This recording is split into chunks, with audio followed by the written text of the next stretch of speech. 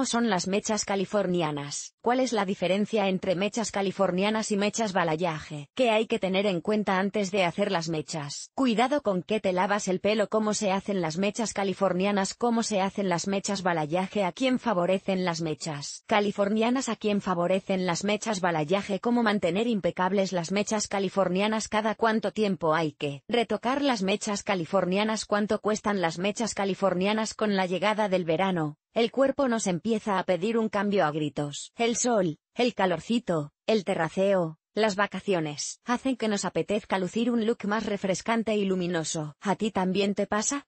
No eres la única. Los salones de peluquería se llenan de mujeres que quieren cortar por lo sano, darse unas mechas o un color de pelo distinto. Y las mechas californianas y las balayajes son las más demandadas durante esta estación. Ambas técnicas aclaran el cabello emulando el efecto que la exposición al sol deja en él, aportando brillo y luminosidad. Sin embargo, son técnicas de coloración distintas aunque a veces se confundan. Te lo contamos todo sobre las mechas californianas, y en qué se diferencian de las mechas balayage. ¿Cómo son las mechas californianas? Mechas californianas.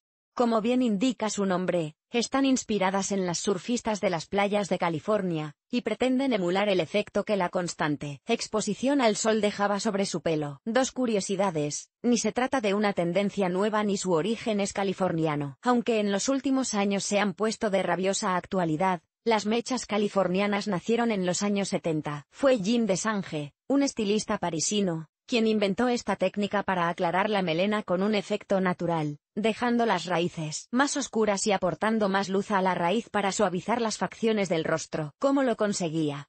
aplicando más cantidad de producto en las puntas, y degradando hacia la raíz del cabello. ¿Cuál es la diferencia entre mechas californianas y mechas balayage? Las famosas balayage nacieron en Francia, y se popularizaron en la década de los 90. La palabra balayage significa barrer en francés, y esto es precisamente lo que hace esta técnica, modifica el color desde la raíz hasta las puntas. El resultado en este caso es una melena ligeramente aclarada, y con un aspecto luminoso y muy natural. Se consigue ese efecto sun-kissed como besada por el sol que tanto favorece, explica la estilista Noelia Jiménez propietaria del salón que lleva su mismo nombre, gran apasionada de esta técnica. A grandes rasgos, las mechas californianas aportan mucho más contraste. La raíz se deja en un tono más oscuro, mientras que las puntas van mucho más claras, acaparando todo el foco de luz. Se distingue perfectamente a qué altura empieza la mecha. Son algo más agresivas para el cabello que las balayage. Por su parte, las mechas balayage persiguen un resultado mucho más natural. No hay tanto contraste entre la raíz y las puntas. El degradado es mucho más progresivo y está más difuminado. No se aprecia claramente dónde empieza y termina la mecha. Las mechas californianas hacen el efecto de degradación natural del cabello, pero van más marcadas en las puntas, pudiendo dejar un tono más sutil o suave o extremado. El balayaje es una técnica francesa de aclaración que empieza a unos centímetros de la raíz, haciendo una degradación de color no solo en las puntas, sino en todo el pelo y de forma más natural. Esta última permite jugar con contrastes entre los tonos naturales del pelo y las mechas, sin que se vea el marcado, explica Danilo da Silva, director manager del Salón Estudio de en Barcelona. ¿Qué hay que tener en cuenta antes de hacerse las mechas por primera vez? Es primordial algo tan básico como tener el cabello en buenas condiciones, ya que la decoloración suele deshidratar y dañar la fibra capilar. Si ya está previamente dañada, es más que probable que acabes con un cabello roto, seco y sin brillo. Cuidado con que te lavas el pelo. En los últimos años nos hemos encontrado con muchos casos de cabellos quemados por la decoloración por diferentes motivos. Uno de los más desconocidos para la mayoría es el tipo de champú que se usa. Ve ahora mismo al baño y comprueba que ninguno de tus productos lleva sosa cáustica. La decoloración, cuando se combina con este ingrediente, es una bomba de relojería. Encontrarás la sosa cáustica ya mencionada con esta nomenclatura, sodium hidroxide o sodium oxidanide. Al mezclarse con una sustancia activa puede generar tanto calor como para encender materiales combustibles. ¿Cómo se hacen las mechas californianas? Para conseguir el efecto que el sol deja sobre el cabello de las surfistas californianas de forma artificial hacemos unas mechas a mano alzada, al aire libre y aplicando un producto de decoloración sobre la mecha dibujando una V. Después, Difuminamos todo lo que podemos de medios a puntas, sin llegar a la raíz hay que dejar la raíz oscura y tapar completamente los medios y puntas con el producto de decoloración para conseguir un efecto de luz extrema en las puntas. Así conseguimos un degradado que va desde el rubio más oscuro de la raíz al platino de las puntas, explica David Lesur director de formación en los salones David Kunzle es posible que estés pensando en ahorrarte la visita a tu salón de peluquería y hacerte tú misma las mechas californianas en casa. Circulan algunos tutoriales por internet, pero lo cierto es que no te recomendamos que lo hagas a menos que seas una experta en la materia. Se trata de unas técnicas de coloración solo aptas para estilistas, ya que requieren de ciertas habilidades. Es mejor ponerse en manos de un buen profesional, el éxito de este tipo de mechas reside en una buena ejecución y una buena técnica. El profesional valorará las condiciones y el tipo de cabello para aplicarlas de la manera más adecuada, afirma la estilista Noelia Jiménez directora del salón de peluquería que lleva su mismo nombre. ¿Cómo se hacen las mechas balayaje? Las mechas balayaje son menos agresivas con el cabello. Según Inmaculada García, directora de formación de los salones Menta Beauty Place, aportan naturalidad, dimensión y luminosidad al cabello. Consisten en barrer el color desde la raíz hasta las puntas utilizando decoloración con pincel y a mano alzada, Pueden utilizarse decoloraciones al aire para conseguir degradados más sutiles o decoloración cubierta para conseguir aclarar más tonos. El resultado dependerá de la destreza del colorista ya que es una técnica muy personalizada, y es necesario tener un gran dominio y saber aplicar la mecha e ir difuminando para conseguir un aclarado mayor en las puntas. El resultado es muy natural ya que al estar difuminadas no se aprecia dónde empieza y acaba la mecha. ¿A quién favorecen las mechas californianas? Es posible que estés pensando en cambiar de imagen,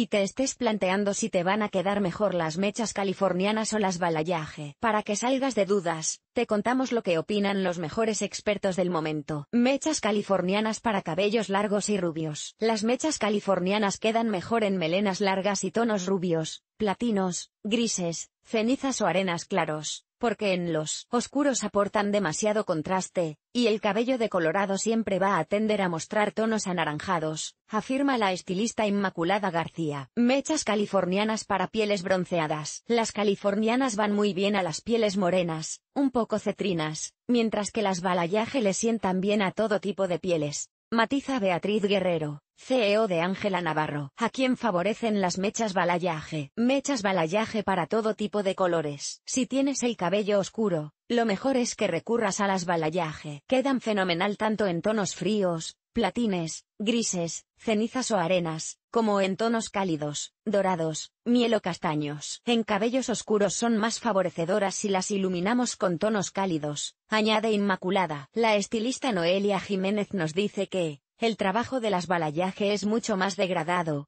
y aclara el tono base de una forma natural y muy sutil. Esto permite adaptarlo a cualquier tipo de color. Las mechas californianas, por el contrario, no son aptas para melenas oscuras, ya que quedarían demasiado marcadas en bases muy oscuras. Mechas balayaje para los cabellos con canas. Si tienes muchas canas es preferible que recurras a las mechas balayaje, que se aplican más cerca de la raíz y pueden disimularlas mejor. Las californianas mantienen la raíz muy oscura, dejándolas demasiado a la vista, explica Beatriz. ¿Cómo mantener impecables las mechas californianas? Como sucede con cualquier técnica de coloración, debes mimar tu pelo para que no se resienta tras aplicar las mechas californianas. Es fundamental por la salud de tu cabello, y también para garantizar que el color está impecable. Según Beatriz Guerrero, cuando más bonitas quedan las mechas californianas es justo en verano, época en la que exponemos el cabello a más agresiones. Es muy importante preservar el color para que no tire a tonos indeseados cuando vamos a la playa o a la piscina. Yo propongo que la nutrición sea impecable. En lugar de aplicar la mascarilla una vez a la semana, como acostumbramos a hacer en invierno, es conveniente utilizarla dos o tres veces por semana. Sustituye el acondicionador por la mascarilla, y apuesta por un tratamiento o champú nutritivo. Cuando el pelo está bien nutrido, las escamas de la cutícula se cierran, y es más difícil que entren los pigmentos azules de las piscinas y los verdosos del mar, recomienda. Rosie Fernández, directora del Salón Ananda Ferdi, coincide en que todos los cabellos decolorados deben hidratarse y nutrirse a menudo.